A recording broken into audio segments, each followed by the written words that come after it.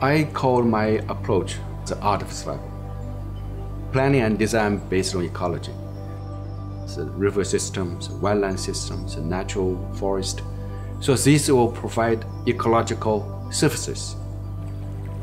Production, provision, regulating flood and drought. Underneath is the nature ecology. Above is a cultural aspect, like the terraces in the mountain. You cannot separate culture from nature.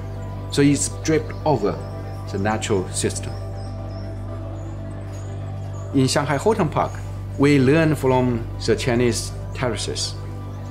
It was a site of the Shanghai 2010 Expo. So it is a demonstration of how can we use ecological approach to clean the water instead of using gray sewage plant to clean the water. The nutrient-rich water from Huangpujiang River will be used following the terraces and the nutrient, the nitrogen and the potassium can be removed by different species of plants. And also in the process of removing of the nutrient or the pollutants, we also have a productive landscape.